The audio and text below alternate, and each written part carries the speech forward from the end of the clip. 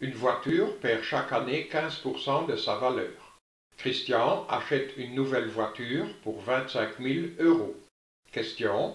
Combien d'argent recevra-t-il encore pour sa voiture après 10 ans?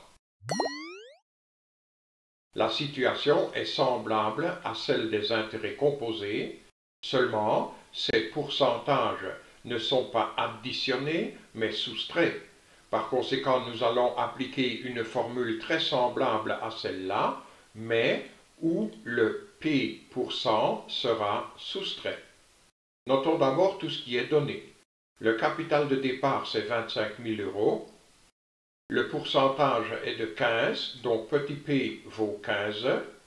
Il faudra attendre 10 ans, par conséquent petit n vaut 10.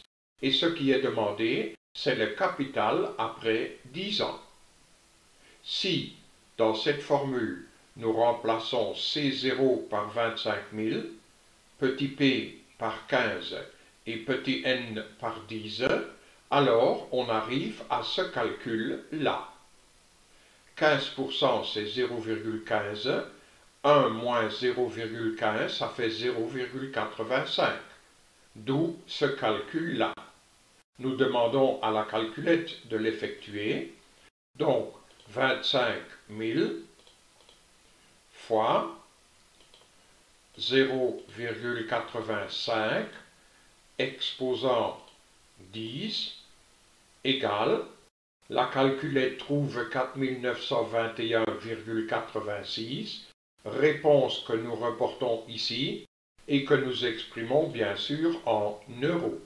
Donc, après 10 ans, Christian ne recevra plus que 4 921,86 euros pour sa voiture. Et la tâche est terminée.